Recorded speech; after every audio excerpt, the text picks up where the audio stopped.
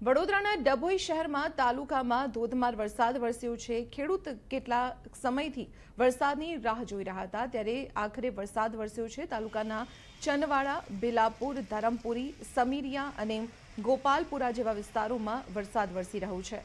ડભોઈ પંથકમાં મેઘમહેર જોવા મળી રહી છે. વહેલી સવારથી જ વાતાવરણ બદલાયું અને વાદળછાયા વાતાવરણ બાદ બપોરે ધોધમાર વરસાદ શરૂ થયો છે અને વરસાદને કારણે પંથકમાં ઠંડક પણ પ્રસરી ગઈ છે.